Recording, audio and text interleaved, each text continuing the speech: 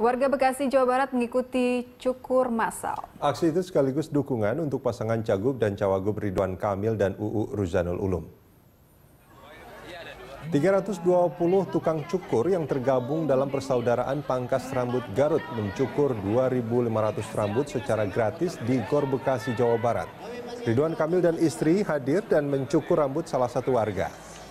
Pasangan nomor urut satu ini mengapresiasi dan berterima kasih kepada Perhimpunan Tukang Cukur yang telah mendukung di Pilkada Jawa Barat.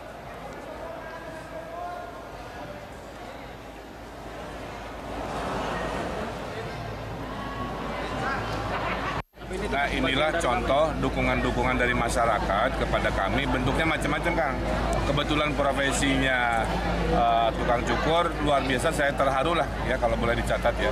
Saya terharu karena ada berapa tukang cukur ada 300-an 300-an datang meluangkan waktu itu kan gratis ya. Karena sekali tukang cukur kan bisa 30 sampai 50 ribu kalau per kepala kan begitu. Nah inilah uh, bentuk kecintaan rakyat pada pemimpinnya. Insya Allah tidak akan saya lupakan dan menjadi penyemangat.